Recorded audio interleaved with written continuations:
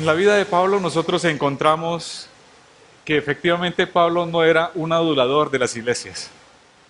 ¿Sí? En España hay una palabra que espero que aquí no se escuche mal, una frase que dice hacer la pelota. hacer la pelota significa adular a alguien con el propósito de obtener un beneficio posterior. Esto es muy común, sobre todo entre los políticos. ¿Es verdad o no? Son muy aduladores, se abrazan en público, pero luego están esperando siempre algo a cambio, una retribución por ese halago, por esa adulación. En Colombia le decimos echar cepillo, cepillar, es adular a una persona con ese propósito de ganar algo a cambio. Pablo efectivamente no se caracteriza por ser un adulador. Realmente cuando nosotros estudiamos y vemos la vida de Pablo, vemos a un hombre íntegro en todo el sentido de la palabra. Un hombre que cuando es necesario exhorta y lo hace con firmeza, lo hace con dureza si es necesario. Pero también vemos a un hombre sensible a la realidad de las iglesias. Y esto es bien interesante, porque lo vamos a ver precisamente hoy aquí en la carta de Pablo, la primera carta a los tesalonicenses. Y vamos a leer ese primer capítulo, capítulo 1 de Primera de Tesalonicenses.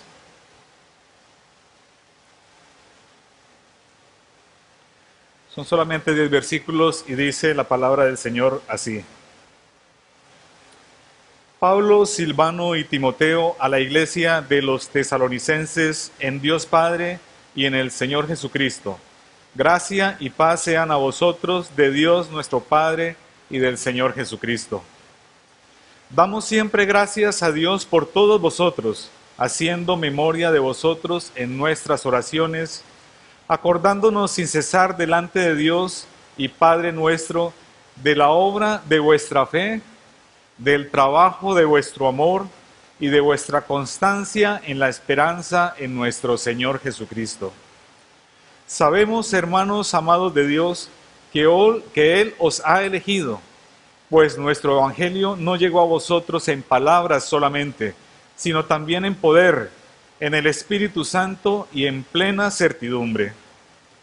Bien sabéis cómo nos portamos entre vosotros por amor de vosotros vosotros vinisteis a ser imitadores nuestros y del Señor, recibiendo la palabra en medio de gran tribulación, con el gozo que da el Espíritu Santo.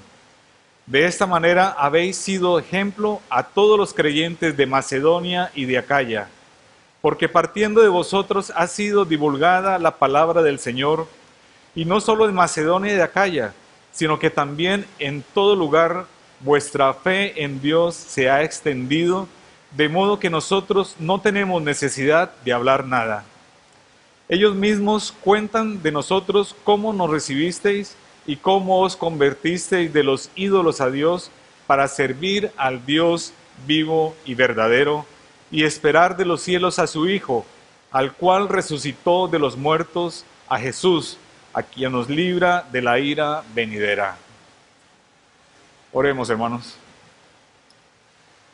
Padre Santo, te damos gracias porque tú eres nuestro Dios y nuestro Señor. Te damos gracias, Padre, porque tú eres quien cuida a la novia de tu Hijo, a la iglesia. Te damos gracias, Señor, porque tu Hijo está preparando un lugar para nosotros. Te damos gracias, Señor, porque tu palabra es fiel y porque, Señor, tú has puesto fe en nuestro corazón para creer en tus promesas. Las creemos, Señor, porque tú, Padre, nos has convencido, porque tú, Señor, nos has llamado, porque has puesto fe en nuestro corazón y porque tu llamado, Señor, es realmente poderoso, efectivo, Señor, y así lo has hecho con nosotros, tus hijos. Te alabamos, Rey, también por las iglesias que son fieles a tu palabra, te rogamos, Señor, que tú las sigas cuidando, que sigas ministrando, Señor, a un mundo que está ensombrecido, a un mundo, Señor, que se encuentra alejado de ti. Oh Dios, que tus iglesias locales en todo lugar brillen en lo alto, Señor. Que tu santo evangelio sea predicado con fidelidad por estas iglesias y que tú sigas agregando pueblo tuyo a estas congregaciones Oh Dios, te lo rogamos por los méritos de nuestro Rey, de nuestro Salvador y de nuestro Redentor, el Señor Jesucristo. Amén. Pues bien, hermanos, les decía que Pablo no se caracteriza por ser una persona aduladora.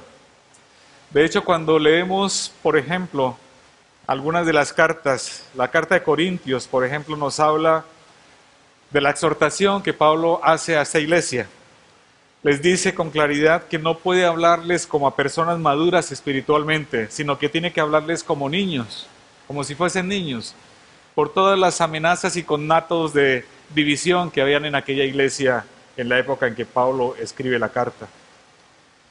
A los Gálatas Pablo les dice lo siguiente, estoy asombrado de que tan pronto os hayáis alejado del que os llamó por la gracia de Cristo para seguir un evangelio diferente a los colosenses Pablo les dice, ¿por qué como si vivieras en el mundo sometéis a preceptos tales como no uses, no comas, no toques?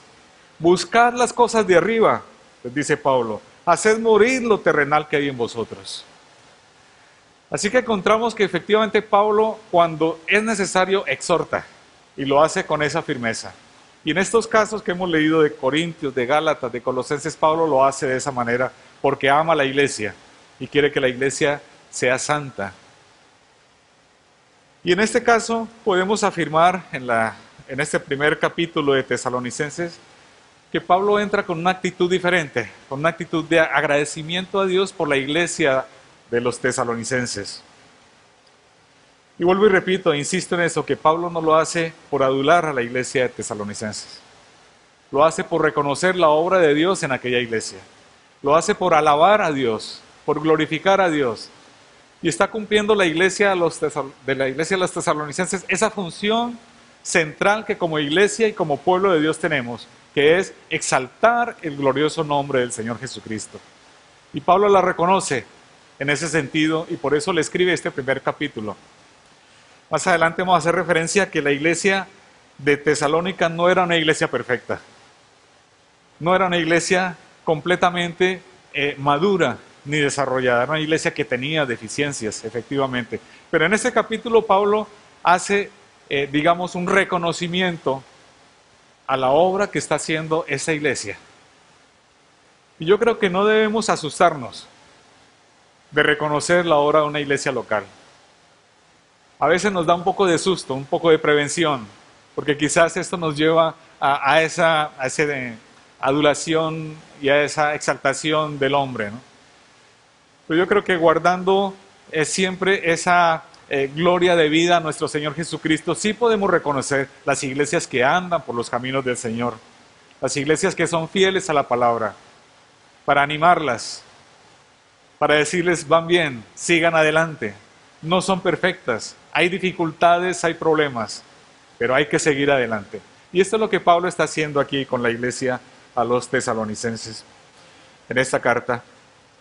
Y hay varias señales de esta iglesia fiel que Pablo reconoce, que hoy quisiera eh, tratar, siempre basado en, esta, en este primer capítulo de la carta a tesalonicenses. Pablo reconoce una iglesia fiel y dice, estas son las características que tiene una iglesia fiel al Evangelio. Una iglesia fiel es, en primer lugar, motivo de gratitud y alabanza a Dios. Una primera señal de una iglesia fiel es esta, produce alabanza al Señor. Una segunda señal, una segunda característica, característica de una iglesia fiel es que es fiel y lo es solamente porque ha sido elegida por Dios.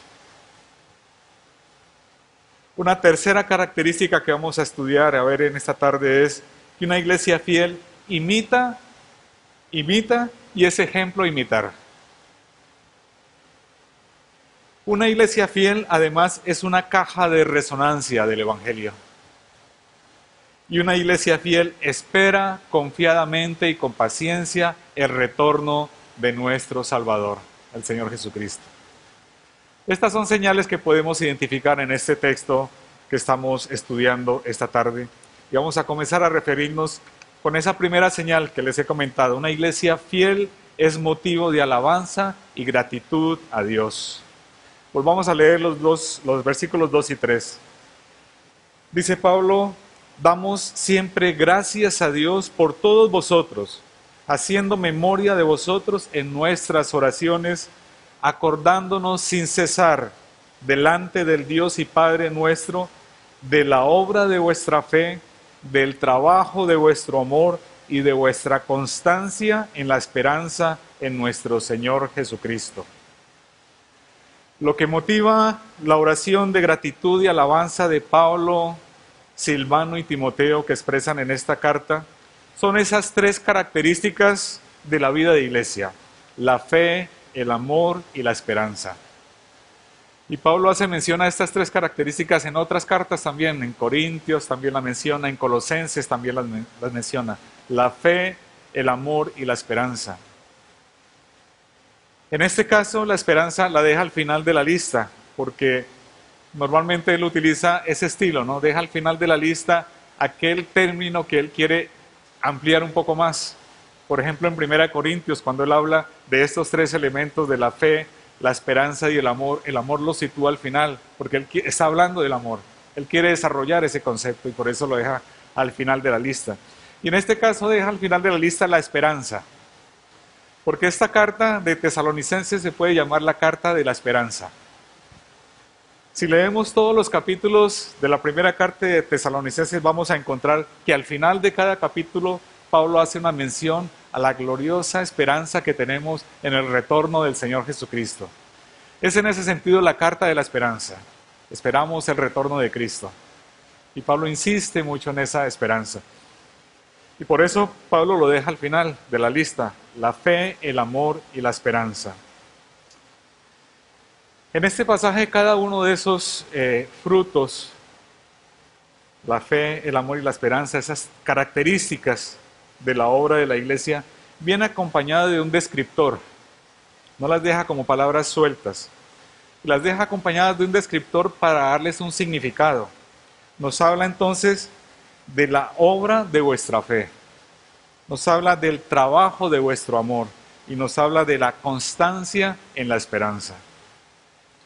Está utilizando unos términos que, le, que caracterizan aquellos elementos, ¿no? La fe, el amor y la esperanza. Le dan un significado real y práctico. Nos indica que tales virtudes no son características abstractas de la iglesia, sino nos está diciendo que son características vitales de la iglesia que se dejan ver de la iglesia. Nos está diciendo que esas características son reales, son vivenciales de la iglesia. Y por eso las, les da ese apellido, digámosle así, a cada uno de estos términos. No son utopías, la obra de vuestra fe, el trabajo de vuestro amor y vuestra constancia en la esperanza. Centrémonos un momento en el primer término, la obra de vuestra fe. Nos recuerda aquel pasaje de Santiago, la fe sin obras es muerta. Y es interesante el término que utiliza Pablo, la obra de vuestra fe, porque esto nos ayuda a entender que aquellos que dicen que entre Pablo y Santiago hay una especie de pugna, porque mientras uno nos, uno nos está hablando de la fe, el otro nos está hablando de las obras, realmente no hay tal antagonismo entre los dos eh, escritos de la palabra de Dios. Hay una armonía total. Y Pablo aquí lo está resaltando la obra de vuestra fe, está diciendo Pablo. ¿Y cuál es la obra de la fe? Pues es la obra que emana de la fe, que surge de la fe, que es consecuencia de la fe. Además es la obra que se lleva a cabo por la fe. Y es la obra que deja ver la fe, que la manifiesta, que la revela. Seguramente las personas que tienen más o menos la misma edad que yo, se acuerdan de aquella forma de sacar fotografías en la antigüedad. ¿Sí? No es como lo que sucede hoy día, ¿no? Que tomamos una cámara digital e instantáneamente tenemos la fotografía y si queremos la imprimimos y la tenemos ya en la mano. En aquella época utilizábamos unos carretes. Teníamos que poner el carrete allí con mucho cuidado porque si lo tirábamos mucho dañábamos el carrete, estropeábamos las fotos. Y luego, bueno, lo poníamos allí con mucho cuidado y comenzamos a, tirar las fotos, ¿no? A pasar las fotos allí. Y luego para retirar el carrete teníamos que tener también mucha precaución, porque teníamos que regresarlo allí manualmente. Y a veces nos ocurría que le dábamos allí vueltas y el carrete no se regresaba y dañábamos todas las fotos que habíamos hecho. Bueno, el caso es que en aquella época los carretes salían en negativo y tocaba hacer todo un proceso para poder revelar la foto. Había que entrar a un cuarto oscuro, aplicar una serie de químicos, utilizar un papel especial y al final veíamos cómo la foto iba tomando cuerpo en aquel papel que antes era completamente blanco. Era casi mágico ver aparecer allí la, foto. Y luego, claro, esto como se hacía manualmente, pues era muy satisfactorio para el fotógrafo, ¿no? Ver cómo la fotografía, la imagen iba tomando forma allí en este papel. Pues la obra de la fe hace exactamente eso, revela la fe, evidencia la fe en ese papel que antes se veía blanco. La fe toma cuerpo por la obra que se manifiesta eh, de esa manera. Surge entonces la pregunta, ¿y cuáles son esas obras de la fe?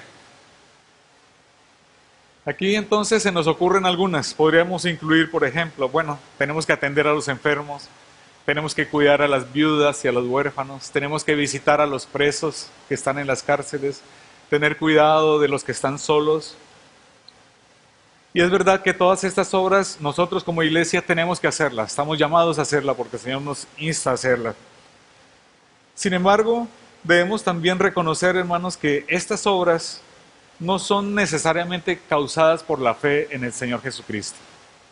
Estas obras que he mencionado. De hecho, muchos hacen este tipo de obras sin tener el más mínimo temor en sus corazones de Dios. Hay muchos que hacen obras de estas, obras filantrópicas. Hacen donaciones, quizás motivados porque los impuestos se reducen o motivados por una conciencia que les está acusando, pero no por amor a Dios. Y hay una diferencia allí sustancial. ¿no? Hay muchos que hacen este tipo de obras, muchos médicos que van al África a dedicar tiempos allí para eh, dar ese conocimiento que tienen y sanar enfermos, gente que atiende a los necesitados, pero no tienen ese temor de Dios en sus corazones. En el año 2007 salió un artículo en, el, en un diario que se llama El País. El título de este artículo era el siguiente, ¿creía en Dios Teresa de Calcuta? Ese era el título. Teresa de Calcuta hacía 10 años que había muerto ya. Y en aquella época estaba apareciendo un libro que recopilaba una serie de cartas que había escrito Teresa de Calcuta. Y la lectura de ese libro motivaba a esta pregunta, ¿creía en Dios Teresa de Calcuta? Todos conocemos la obra de Teresa de Calcuta, cómo se dedicó a atender a los pobres allí en, la India, ¿no? Cómo dedicó toda su vida y se entregó a esa obra eh, tan importante, ¿no? De, de ver las necesidades de los pobres, de los niños en aquel país. Una de las cartas que escribió Teresa de Calcuta decía lo siguiente, hay una terrible oscuridad dentro de mí, como si todo estuviera muerto, dice Teresa de Calcuta. Esto es así más o menos desde que comencé este trabajo. ¿Dónde está mi fe? se preguntaba Teresa. Incluso en lo más profundo no hay nada, excepto vacío. Esto decía aquella mujer que dedicó su vida a obras de este tipo. Entonces vuelve a surgir en nuestra mente, ¿no? ¿Qué es la obra de la fe? ¿Cuál es por excelencia la obra que emana de la fe, que se lleva a cabo únicamente por la fe y que revela la fe? Y yo creo que existe una sola respuesta, tal como Pablo lo, relaciona un poco más adelante. La obra por excelencia de la fe es propagar el santo evangelio del Señor Jesucristo. Esa es por excelencia la obra de la fe. La obra de la fe en singular, porque Pablo la menciona en singular, no está hablando de las obras de la fe, está hablando de la obra de la fe, es predicar el santo evangelio del Señor Jesucristo. Lo podemos afirmar porque esa es la intención de la carta de Pablo. Pablo lo revela, lo dice con claridad, lo muestra en todo el contexto general de este capítulo, tal como lo mencionamos más, un poco más adelante. ¿Quién más podría hacer esta obra? ¿Una fundación? ¿Una ONG? Nadie más puede hacer esta obra, solamente la iglesia del Señor.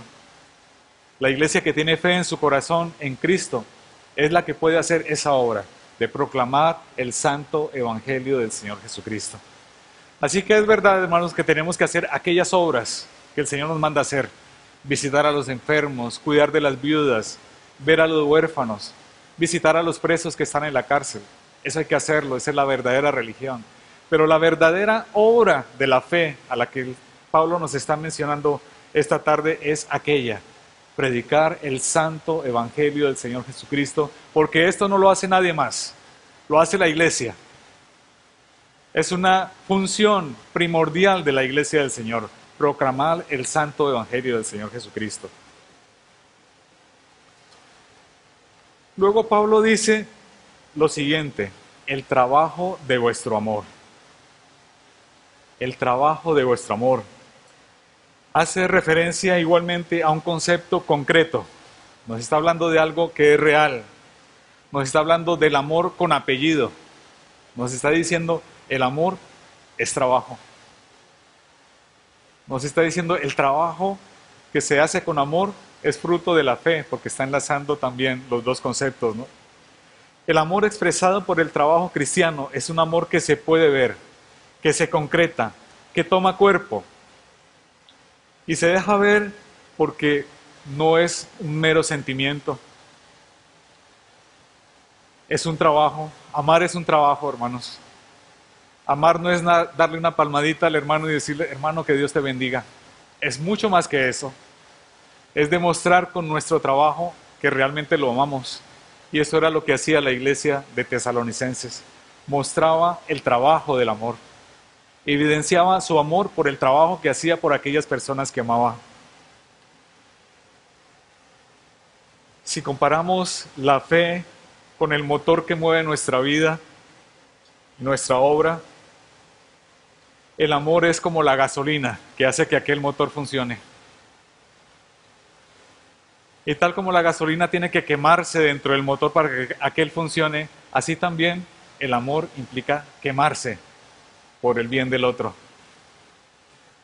Implica desgastarnos porque amamos a los demás. Implica incomodarnos con tal de que el hermano esté bien. Implica quitar tiempo de nuestro descanso para dárselo al otro que necesita de nuestro tiempo. Implica también amar con el bolsillo a la persona que necesita de nuestro apoyo, de nuestra ayuda. Ese es el trabajo del amor, hermanos. El trabajo, el, amor implica trabajo, implica quemarnos, implica desgastarnos por las personas que amamos. Y vale la pena desgastarnos de esa manera. Hermanos, en la vida, en todo caso, nos vamos a desgastar. Aun cuando no amemos a nadie, nos vamos a desgastar. Nos hacemos viejos y pronto partimos. Así que ¿por qué no desgastarnos por amar a nuestros hermanos? Que eso vale la pena. ¿Por qué no dejar de desgastarnos por las cosas que perecen? Tanta atención que le dedicamos a las cosas que pasan, que perecen, de lo cual no queda absolutamente nada. ¿Por qué no desgastarnos por amar a nuestros hermanos y por evidenciar ese amor con nuestro trabajo? El mayor ejemplo de amor de trabajo de amor que nosotros tenemos y de la confluencia de, la obra de la fe y del trabajo del amor es sin lugar a dudas nuestro Señor Jesucristo. Él vino a hacer la obra de la fe, a proclamar el santo evangelio de salvación. Y para hacerlo lo movió el amor por los escogidos de su Padre.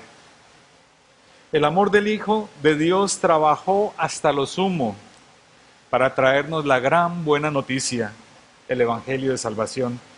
Y cuando digo que su, que su amor trabajó hasta lo sumo, estoy diciendo que su amor trabajó hasta la muerte y muerte de cruz. La cruz de Cristo, déjenme decirles hermanos, es la mayor expresión del trabajo del amor. La mayor expresión del trabajo del amor es la muerte en la cruz de nuestro Señor Jesucristo. Déjenme leerles, hermanos, unos versículos allí en el libro de los Romanos, el capítulo 5, los versículos 7 al 8. Dice así la palabra. Ciertamente apenas morirá alguno por un justo. Con todo, pudiera ser que alguien tuviera el valor de morir por el bueno. Pero Dios muestra su amor para con nosotros en que siendo aún pecadores, Cristo murió por nosotros. Esto nos muestra una característica fundamental, hermanos, del trabajo del amor. Y es que el trabajo del amor no se da porque el hermano lo merezca. Se da porque amamos a Cristo. Por esa razón es que se da el trabajo del amor. Hermanos, si nosotros amamos al hermano que merece nuestro amor, estamos siendo iguales a los del mundo. Porque el mundo ama a aquellos que merecen el amor pero la iglesia debe amar a aquellos que no merecen el amor. Dar de gracia lo que el Señor nos ha dado de gracia. La gracia del Señor Jesucristo fue esa, lo que acabamos de leer. Dio su vida por nosotros cuando nosotros no merecíamos absolutamente nada. Dio su vida y la dio en la cruz del Calvario. El Hijo de Dios se despojó a sí mismo, dejó toda su gloria por venir a vivir como nosotros y a morir en una cruz para salvarnos. Ese es el trabajo del amor. ¿Quién de nosotros merecía ese amor? Ninguno, hermanos. Ninguno merecemos ese amor del Señor. Pero Cristo vino a dejarnos ese ejemplo. Por lo tanto, hermanos, como dice la palabra, dad de gracia lo que recibiste de gracia. Amemos aun cuando el hermano no merezca ese amor. Y demos de gracia como el Señor lo ha hecho. Luego dice Pablo, la constancia en la esperanza. Tampoco se trata entonces de una esperanza abstracta, sin cuerpo, sin alma. Se trata de una esperanza en nuestro Señor Jesucristo, que nos conduce a ser constantes en nuestra obra de la fe y en nuestro trabajo del amor. Es esa esperanza gloriosa que tenemos de que un día veremos al Señor Jesucristo, de que un día podemos, podremos glorificarle ya despojados de este cuerpo de maldad. ¿Cuántos anhelan aquel día, hermanos? Lo anhelamos todos, aquel día que podemos que podremos contemplar a nuestro Señor y Salvador Jesucristo. Es una esperanza cierta, una esperanza real. Si hay algo cierto en la vida, hermanos, déjenme decirles, es nuestro encuentro con el Salvador.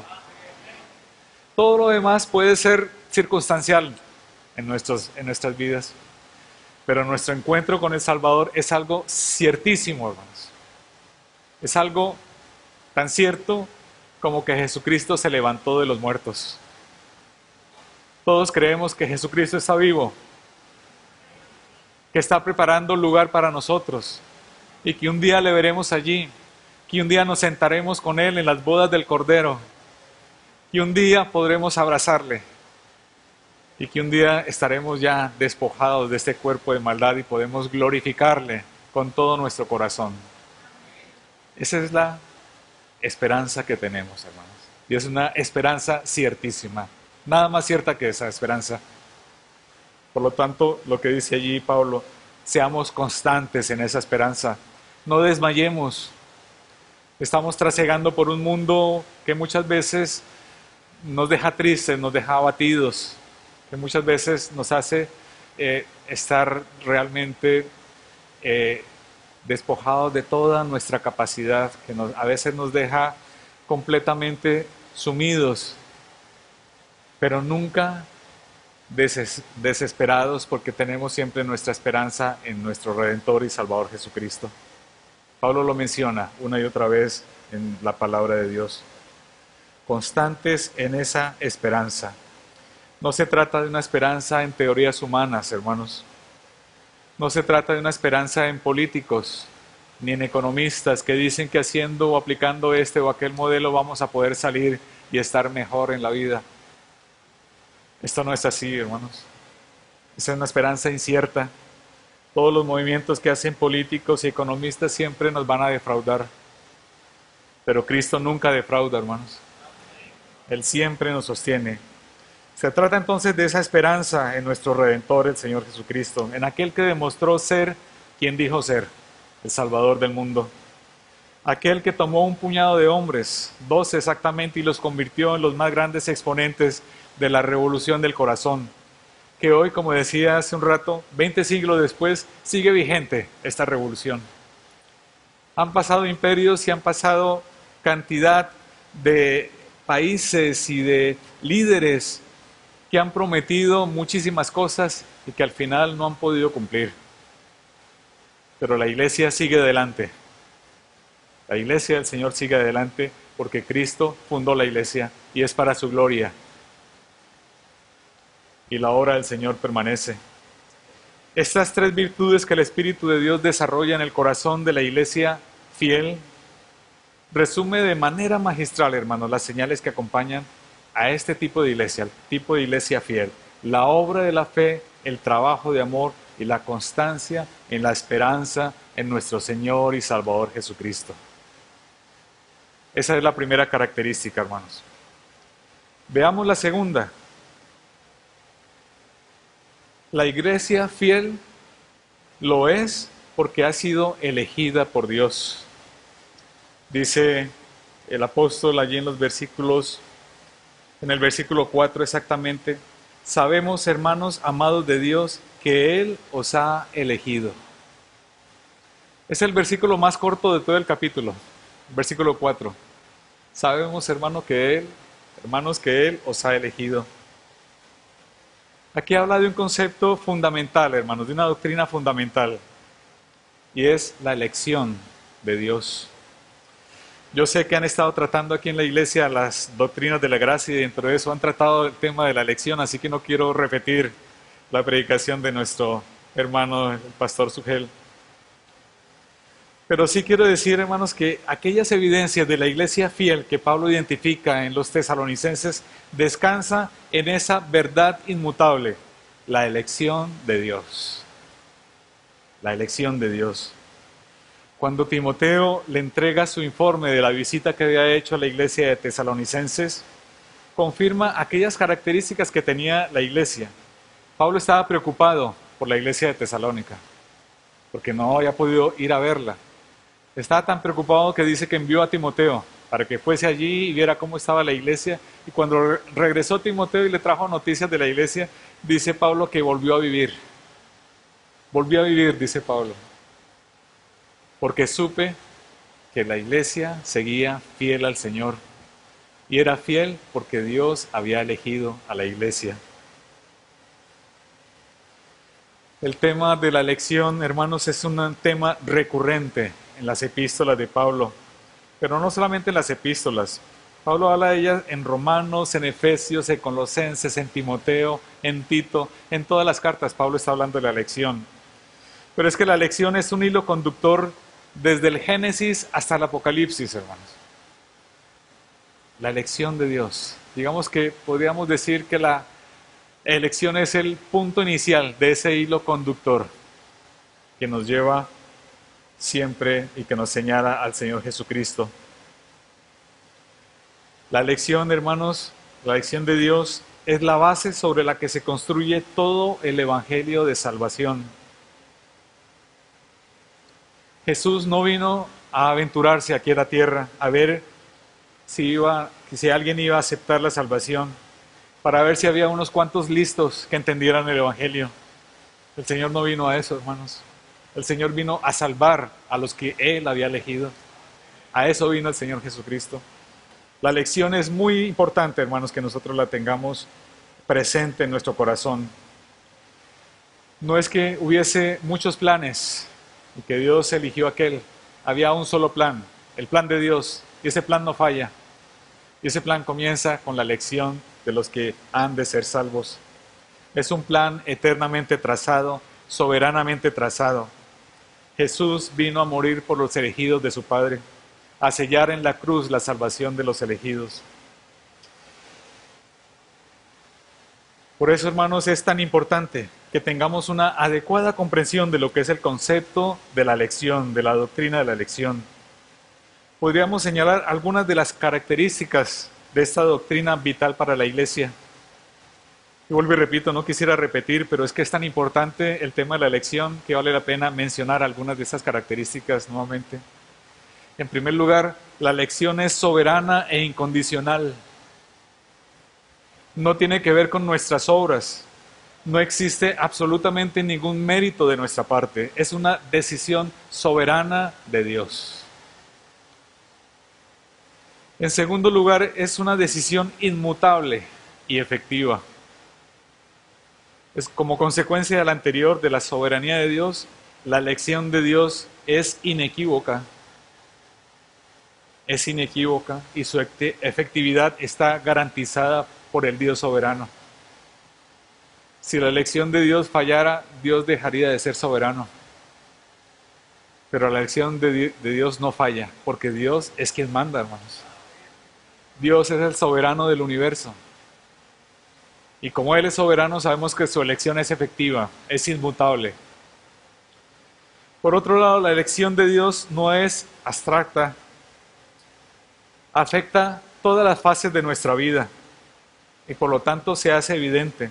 No es un concepto etéreo y sin sustancia, es real y concierne a todo nuestro ser, hermanos. Es dinámica, no es algo pasivo, es algo que sucede en nosotros y que se manifiesta por la transformación de nuestro corazón, que se manifiesta por esa obra que el Espíritu hace en nosotros, llevándonos a la santidad que Él ha emprendido en nuestros corazones y que va a concluir, hermanos, y que va a concluir en cada uno de sus escogidos. La lección lo es no solo para la salvación eterna, sino también para el servicio de Dios. Eso es algo muy importante, hermanos. La lección no es solamente para el futuro lejano, que a lo mejor lo vemos allí un poco distante. La lección lo es para hoy, hermanos. Hoy somos elegidos por el Señor y lo somos para alabanza de su gracia. En Efesios nos dice exactamente por qué es que somos elegidos, hermanos. Efesios capítulo 1, versículos 4 y 6. 4 al 6 dice así, según nos escogió en Él antes de la fundación del mundo. Antes de la fundación del mundo Él nos escogió, hermanos, para que fuéramos santos y sin mancha delante de Él por su amor nos predestinó para ser adoptados hijos suyos por medio de Jesucristo, según el puro afecto de su voluntad. ¿Y para qué? Para alabanza de la gloria de su gracia. Para eso somos elegidos, hermanos. Para alabanza de la gloria de su gracia. Esa es la razón, hermanos. No es para premiarnos porque no merecíamos ningún premio, hermanos es para que alabemos la gloria del Señor. Para eso el Señor nos ha llamado y nos ha elegido. La lección, según el decreto soberano de Dios, es la punta inicial de ese hilo conductor de todo el Evangelio del Señor Jesucristo. Pero a su vez, queridos hermanos, es uno de los conceptos que más choca con nuestra naturaleza humana. ¿Por qué razón? esencialmente porque choca con nuestro orgullo como seres humanos. Choca con nuestro orgullo y eso cuesta aceptarlo. Por eso la lección en muchas iglesias lamentablemente se ha dejado de enseñar. Porque se quiere dejar un pedacito de mérito en el hombre. La decisión. La decisión de salvación pertenece al Señor, hermanos. No pertenece a nosotros. La lección de Dios va en contra de los conceptos que nosotros como seres humanos manejamos en esta tierra, hermanos. Nuestro posicionamiento social, nuestro posicionamiento económico, profesional, casi siempre se basa en esta tierra en los méritos que tenemos, en los títulos que obtenemos, en el número de ceros que hay en la cuenta bancaria. En eso se sustenta la posición social en esta tierra, hermanos. Pero delante del Señor eso no tiene absolutamente ningún valor. El Señor no mira eso. Él hace su decisión. ¿Por qué la hace? No lo sabemos, hermanos. Es decisión de Dios. Lo único que podemos hacer es alabar la gloria de la gracia de Dios. Es lo único que podemos hacer frente a la elección de Dios. No depende del que quiere ni del que corre, sino de Dios quien tiene misericordia, de quien Él quiere tener misericordia. Hay un choque frontal entre la elección soberana de Dios y los méritos humanos, que vuelvo y repito, ha conducido a que la doctrina de la elección no se enseñe, o que incluso se niegue, o en muchos casos se maquille y no se presente como es, se suavice. Y esto es un gran pecado, hermanos, porque cuando hacemos eso, le quitamos la gloria a Dios. Es un pecado terrible quitar la gloria a Dios. Al contrario de, de, aquellos que piensan eso, la lección de Dios es tan maravillosa que ha sido pensada por Él para esa alabanza de su gloria. No ha habido en nuestro pasado, no hay en nuestro presente y nunca habrá en nuestro futuro, hermanos, ni una situación en la que seamos nosotros la causa de la lección de Dios.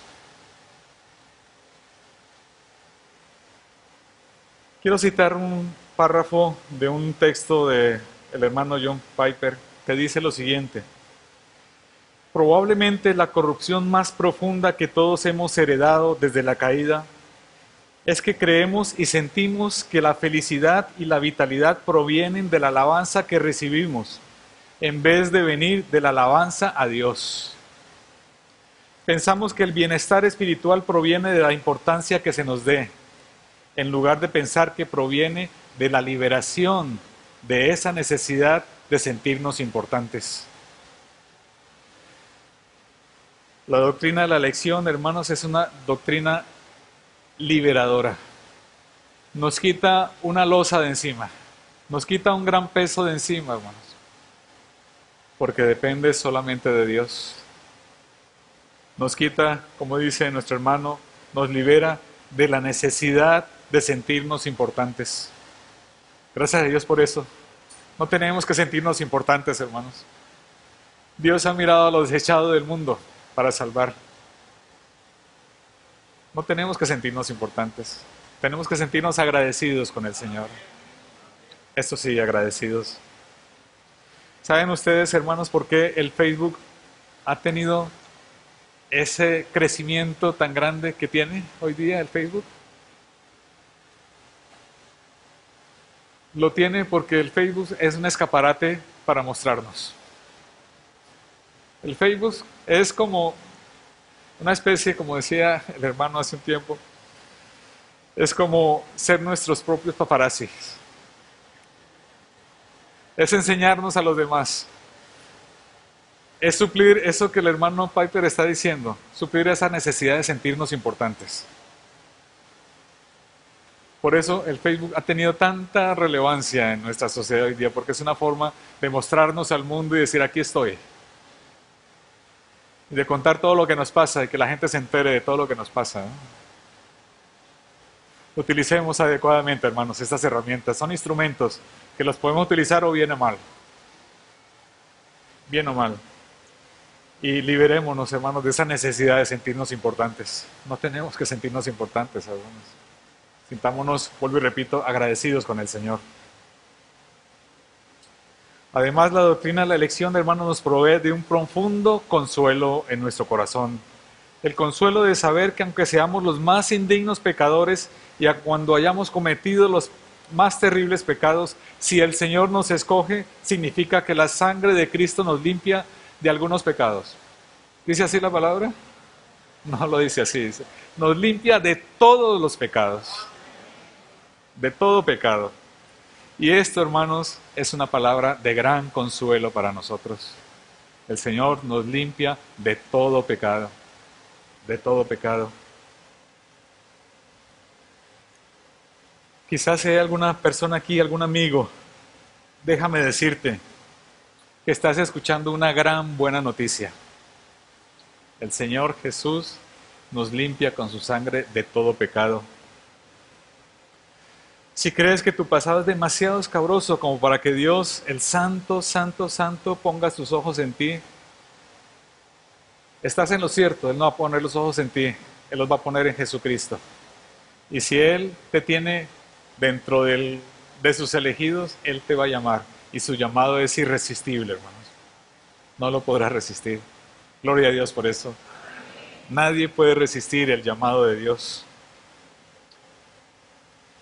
Así que si escuchas hoy su voz, como dice La palabra acude presuroso a los pies de Cristo, que Él perdona todo nuestro pecado.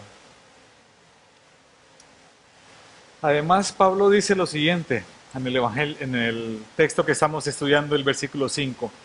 Pues nuestro evangelio no llegó a vosotros en palabras solamente, sino también en poder, en el Espíritu Santo y en plena certidumbre. Esto es bien importante, hermanos. Pablo defiende el hecho de que el Evangelio de Jesucristo no es palabrería, es poder del Señor. Y es que en aquel lugar, en Tesalónica, existía una preocupación y un gusto especial por escuchar nuevas cosas. ¿Les suena parecido esto a lo que sucede hoy día, no? Había un gusto especial por escuchar nuevas cosas. Y por eso había muchos listos que aprovechaban ese afán, esa preocupación por escuchar nuevas cosas para hacer dinero a costa de predicar palabrerías. Aquellos se les llamaban los sofistas, los sofistas, eran filósofos de la calle. Se paraban en la calle y allí comenzaban a hablar, a filosofar de la vida. Y lo hacían a cambio de dinero. Luego pasaban la bolsa, ¿no? A recoger el dinero, por lo que ellos decían. Eran los sofistas, maestros ambulantes que pretendían saberlo todo. Se llamaban a sí mismos maestros de sabiduría, pero lo eran solamente a cambio de dinero. Por eso Pablo tiene que decir esto, nuestro Evangelio no llegó solamente con palabras, como hacen los sofistas. Nuestro Evangelio llegó con poder del Señor, con ese poder transformador, con ese poder que obra el milagro de convertir corazones de piedra en corazones de carne. Ese milagro de horadar los oídos, de perforar los oídos para que escuchen el Evangelio de Salvación, aquellos oídos que estaban absolutamente cerrados para escuchar la palabra de Dios. El Señor lo abre con su santo Evangelio. Es triste, hermanos, que a veces nos veamos con situaciones como estas. Una hermana me comentaba un día, vi en un periódico en un país que ahora mismo no recuerdo, un anuncio clasificado, un anuncio limitado de aquellos que aparecen al final, ¿no? De negocios. Y aquel anuncio decía, busco un socio para montar una iglesia.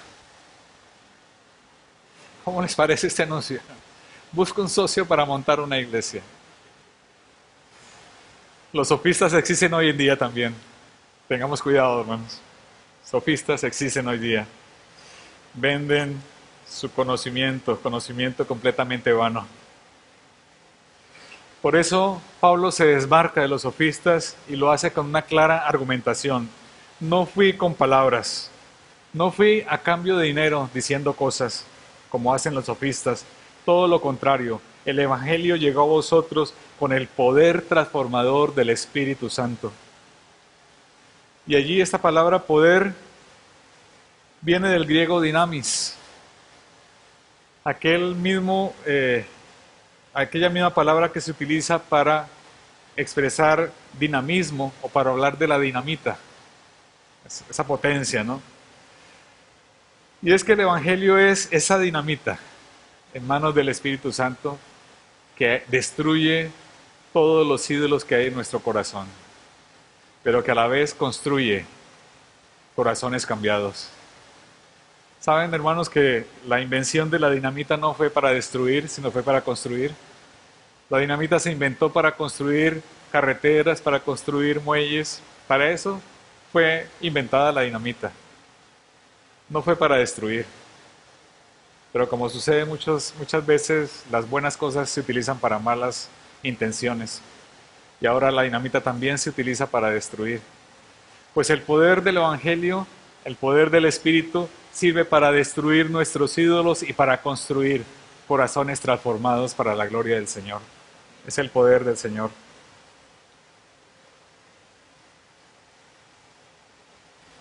Una tercera característica de la iglesia fiel, hermanos.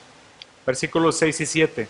Vosotros vinisteis a ser imitadores nuestros y del Señor, recibiendo la palabra en medio de gran tribulación con el gozo que da el Espíritu Santo de esta manera habéis sido ejemplo a todos los creyentes de Macedonia y de Acaya. La iglesia fiel, hermanos, es una iglesia que sigue el ejemplo y que a la vez es ejemplar. Sigue el ejemplo y se convierte en ejemplar para otros. La iglesia tesalónica se había convertido en imitadora de los misioneros de Pablo, pero sobre todo imitadoras del Señor. Vosotros vinisteis a ser imitadores nuestros y del Señor, dice Pablo en ese texto no están solamente siendo repetidores de filosofías huecas, como hacían los sofistas que querían aprender y entonces repetían lo que les enseñaban sus maestros y aprendían entonces una profesión. El Evangelio no es una profesión, hermanos, el Evangelio es una vida transformada. Y Pablo predicaba el Evangelio, predicaba la transformación del Señor Jesucristo en nuestros corazones. Y Pablo no tiene temor en decir, vosotros debéis ser imitadores de mí, y no sentía el temor porque él agregaba enseguida, como yo lo soy de Cristo. La, flecha apunta desde Pablo hacia Cristo. Muchas veces nos escuchamos a nosotros mismos decir o escuchamos a otros hermanos decir, hermano, no pongas tus ojos en nosotros, porque nosotros somos humanos y podemos fallar. Mira a Cristo. Yo lo he dicho, lo confieso, lo he dicho. Es verdad en cierto sentido. Cuando lo decimos en el sentido de que, hermano, no pongas tu fe en mí porque yo no soy nadie. Pon los ojos en Cristo. Es verdad en ese sentido. Pero a veces lo decimos como queriendo disculpar nuestros pecados. A veces lo decimos como, hermano, no me imites a mí porque es que yo no imito a Cristo. Dios nos libre de repetirlo en ese sentido. Que si lo decimos, lo digamos en el sentido primero que expliqué, que lo digamos en el sentido de, hermano, no pongas tu fe en mí, ponla en Cristo. Pero ojalá que también podamos decir, hermano, imítame a mí porque yo imito a Cristo. Como Pablo lo decía a la iglesia. Pablo, Silvano y Timoteo habían dejado un ejemplo a seguir durante su permanencia en Tesalónica. Su dedicación, su devoción, su entusiasmo por el Evangelio, su trabajo, porque Pablo y sus compañeros trabajaron con sus manos para sostenerse y también para seguir predicando el Evangelio. Su disposición voluntaria por sufrir por el Evangelio fueron imitados por la iglesia de Tesalónica. Y por eso Pablo agrega en este versículo, recibiendo la palabra en medio de gran tribulación, ¿con qué? ¿Con mucha tristeza y mucha queja? No lo dice así, ¿no? Recibieron el Evangelio con el gozo que da el Espíritu Santo, con el gozo que da el Señor. Recordamos a Pablo y a, Silas, a Silvano cuando estaban en la prisión allí en Filipos y como allí en la última celda que había en el último rincón con los cepos puestos en medio de la noche cantaban alabando al Señor. Pablo y Silas no se quejaban, estaban adorando al Señor allí en medio del sufrimiento fueron imitadores de Cristo. Y los de Tesalónica también en medio de gran tribulación estaban gozosos, propagando el Evangelio a todos los rincones donde podían. Así como Pablo al imitar a Cristo se convierte en un ejemplo a seguir, también la iglesia de Tesalónica se convierte en un ejemplo a seguir. Y eso es lo que vamos a leer enseguida. Pero antes de pasar a ese punto, quisiera decir, hermanos, entonces como conclusión del punto, es que una iglesia fiel es una iglesia que impacta por su ejemplo de abnegación, aún en los momentos más difíciles, aún cuando haya dificultades. Es una iglesia que impacta a su entorno y lo hace por la gracia de Dios. Lo hace solamente por la gracia de Dios.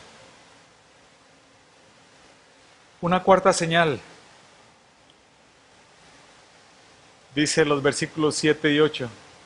De esta manera habéis sido ejemplo a todos los creyentes de Macedonia y de Acaya. Yo voy a leer el versículo 8 de otra traducción de la palabra porque hay una palabra allí interesante que quiero resaltar.